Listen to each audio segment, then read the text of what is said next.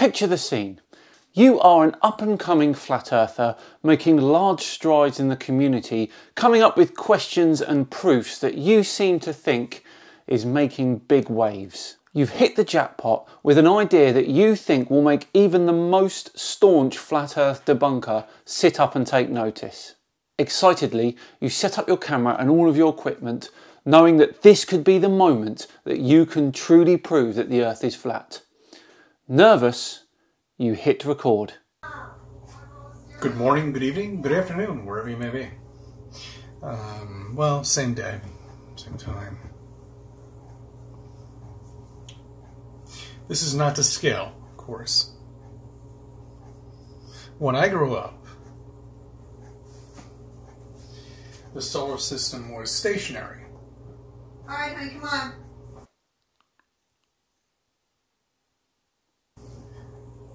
The sun was standing. Why don't you stop this bullshit? Ah, I, Idiot.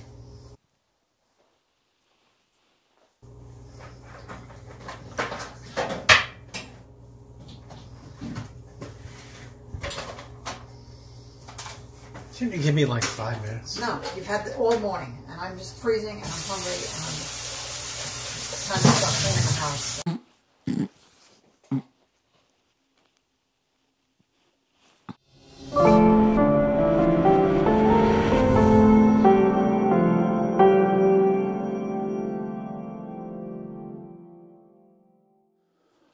And welcome along to another episode of Flat Earth Friday with me, SciManDan. Thank you very much for joining me. Yes, that was CC, Chris from New York, there being absolutely owned by his wife. And today we're going to take a look at some more of his ramblings. But before we do that, I just want to take a moment to thank the sponsors of this video today, Raycon. As we all know, the world is becoming more and more wireless dependent, and it's very important that you get yourself a good pair of wireless earbuds. But before you go dropping hundreds of dollars on a pair, you need to check out these wireless earbuds from Raycon. Raycon earbuds start about half the price of other premium wireless earbuds on the market, and they sound just as amazing as other top audio brands that you may know. And their latest model, the E25, is their best one yet, with 6 hours playtime, seamless Bluetooth pairing, more bass and more compact design, gives you a nice noise isolating fit and they're comfortable as well. Perfect for on the go listening and taking phone calls, and I've even taken them running as well. I did a six mile run in them. They're actually really good. Nice snug fit. Can't hear anything else around me, which is uh, ideal really. Love them. And then I used them in the coffee shop afterwards. They are that versatile. This is the difference for me, as before I would have used two sets of headphones. Also, unlike some of your wireless options, Raycon earbuds are both stylish and discreet, with none of those hanging stems or wires. To get 15% off your order, visit buyraycon.com slash scimandan. That's buyraycon.com slash scimandan for 15% off your Raycon wireless earbuds. Right, back to old CC from Westchester County, and you will not be surprised to know that he is in his car. Good morning, good evening, good afternoon, wherever you may be. Uh, CC here, Chris, from New York, uh, Westchester County. It's January 10th, uh, 2020. And uh, it's a Friday. I like to give you some things to think about on a Friday. Ooh, lucky us.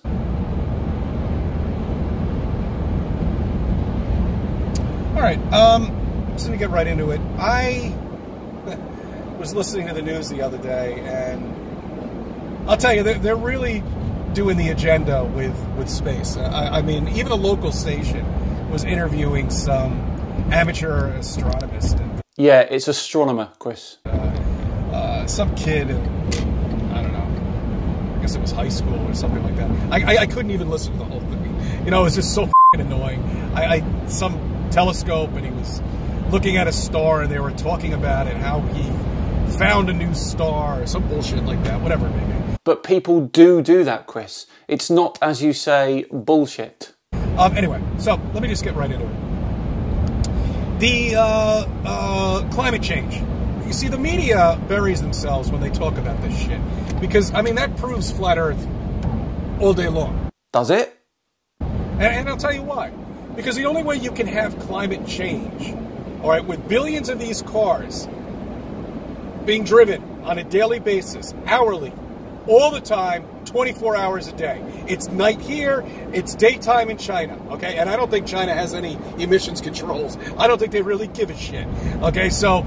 Actually, Chris, China has already met its Copenhagen emission targets for 2020, which includes reducing carbon intensity by 40 to 45%. We're probably the only country that actually cares about this stuff, and nobody else is going to follow us. Sorry, didn't President Trump withdraw from the Paris Agreement? Just saying. But back to my point. It can only happen on a contained unit. Okay, that's that's how climate control could happen.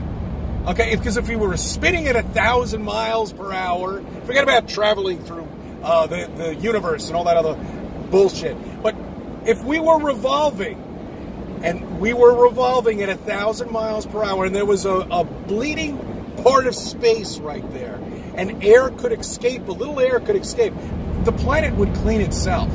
Okay, but don't you see that being in a, um, a container, having a having a globe over us, and being on flat land, not moving, is the only way climate control can happen. Chris, this is just nonsensical babbling now. The atmosphere is stuck to the Earth because of gravity. The more CO2 that is in the atmosphere, the worse climate change will get. That's it. Bottom line. That's all. So keep pushing this climate control shit out there because it just proves more of flat Earth. It's great. I love it. Keep doing it. Want everybody to talk about it. Wow, talk about desperation. The solar eclipse. This is a great one. I love this one. Well, when when it was uh, when the shadow of the moon was traversing across the U.S., the shadow was 70 miles large. Okay, that's what it looked like, and that was the total eclipse, by the way. Okay, uh, the sun, I mean the moon in front of the sun. Anyway, so why is it that we can't see a shadow of Earth on the moon? We say, well, it's too big. It's like, no, we've done the math. And apparently you should be able to see at some point a little black dot.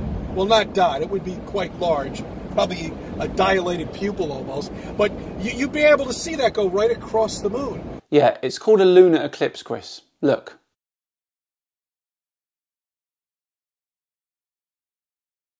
But you don't.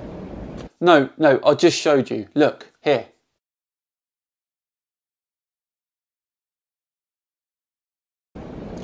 And I'll tell you why you don't. But you do. Because once again, we live on a flat, stationary land here, covered with a dome. What you're seeing up there are the same size, and they're not as far away as you've been told. Certainly not 93 million miles away. Certainly not 238,000 miles away. It's such a perfect system they've come up with, isn't it? Yes, it's called reality. But yet they keep burying themselves all the time people say, "Oh well, the the, the moon's uh, the, the Earth's shadow does go over the moon. That's why it changes colors." That's beautiful. But the Creator could create whatever he or she, whoever it may be, would like. Do anything. It's a self-sustained unit. Don't you understand that? It's complete. It does. It shares no characteristic with the sun at all whatsoever. It emits cold. Okay. It's emitting cold. No, it's not. Radiative cooling, please look it up. I've done many, many videos on it in the past. so the relationship between the sun and the moon is out the window. Okay, I mean, it's it's just time and time again. We, we, we tell people this, and it just phew, flies right over their head. That sounds familiar. Sails right over, and then they come up with all these computations and all this bullshit. But it's it's it's not fooling us. It's not fooling us. Flat Earth is very simple. It's a very simple concept. Well, I'm not going to argue with that. Okay, it, it's it's very easy to understand. All the scientists out there are marching along in their in their white jackets and white coats and, and, and glasses and stethoscopes, doctors, saying all this shit, trying to come after us, but none of them have, and they never will. They can't. They can't get involved with this because they know they're wrong. So you say, and I'm not being funny, but you are just CC Chris from New York, Westchester County. And when any of them ever wake up, I hope they contact the big boys about this so we can finally put this to rest and get this nonsense out there and, and, and wake these fing sleepers up here and, and just get them to understand that there's a lot more to life and to understand what is around them and the lies that are there. The level of delusion here is unreal, isn't it? Who wants to see another one? Yes? Okay, cool. Here we go. Here's Chris. He's in his car again, but this time he's not moving. Good morning, good evening, good afternoon, wherever you may be. Uh, CC here, Chris, from New York, uh, Westchester County. Uh, it's January something 25th or 6th, 2020. Um, anyway, look, I. I was supposed to have a week off, Sorry to hear that, matey. and I was going to just kind of revent my channel, and um, I wasn't able to do that, and that really pissed me off.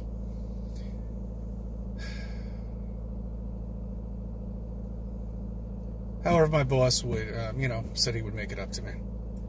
But while I have your attention,